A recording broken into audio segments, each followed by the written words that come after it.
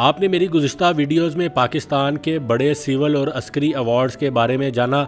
आज जो मैं वीडियो आपके लेके आया हूँ, उस, उसमें पाकिस्तान के दूसरे बड़े सिविल अवार्ड, जिसे हिलाल इम्तियाज़ कहा जाता है, जो ना सिर्फ़ फ़ौजी अफसरान, बल्कि मुख्तु शुबाए ज़िंदगी में अपनी खदमात सर अंजाम देने वाली शख्सियात को हुकूमत पाकिस्तान की जानब से दिया जाता है।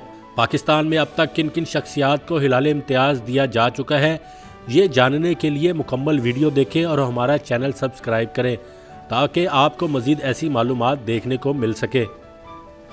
हिलाल इम्तियाज़ सबसे पहले पाकिस्तानी फ़ौज के जनरल जनरल ज़ियाउल हक को उस वक्त के वज़ी अजम उस वक्त के वज़ी अजम जुल्फ़ार अली भुट्टो ने उन्नीस सौ छिहत्तर में दिया।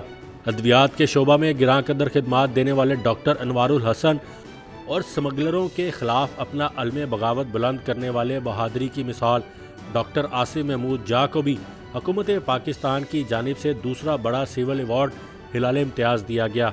आईएसआई के डायरेक्टर जनरल रहने वाले लेफ्टिनेंट जनरल मोहम्मद असद दुरानी को भी हुकूमत पाकिस्तान की जानब से हिलाल इम्तियाज़ से नवाजा गया।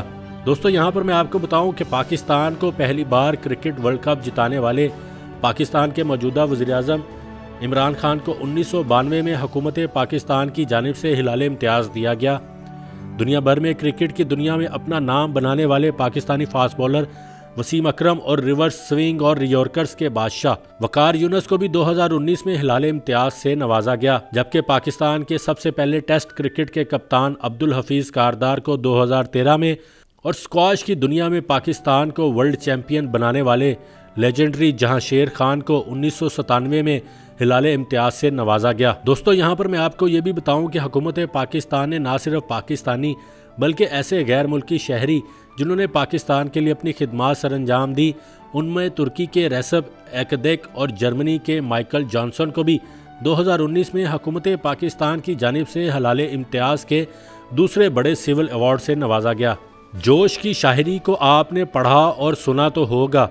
उर्दू शायरी में मुनफरद रंग भरने वाले जोश मलिया आबादी को 2013 में हलाल इम्तियाज़ से नवाजा गया। मुश्ताक अहमद यूसुफी की तसानीफ और किताबें जो पूरी दुनिया में मशहूर हैं और अदब के मुकाम में एक मुनफरद हैसियत रखती हैं, उनको हुकूमत पाकिस्तान की जानब से 2002 में हिलाल इम्तियाज़ से नवाजा गया। अफसाना निगार, नावल निगार और लिखारी अशफाक अहमद को भी हुकूमत पाकिस्तान की जानब से उनकी खिदमत के अतराफ़ में हिलाल इम्तियाज़ से नवाजा गया।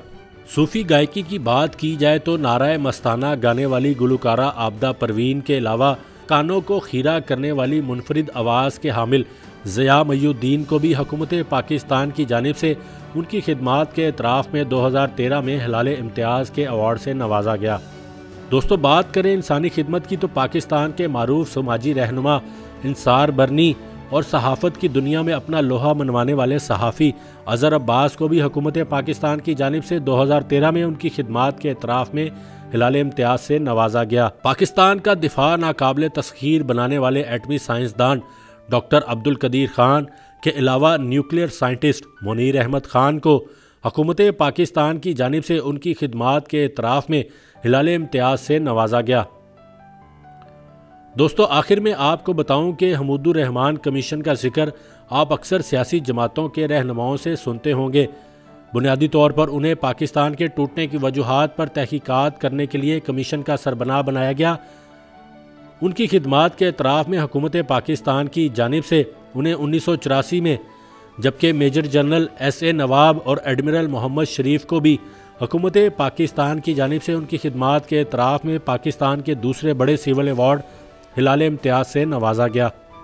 एक बार आपसे गुजारिश है कि आपने हमारा चैनल अगर अभी तक सब्सक्राइब नहीं किया तो बर मेहरबानी सब्सक्राइब कर लें, ताकि मुस्तबिल में भी आपको ऐसी वीडियोज़ देखने को मिल सके।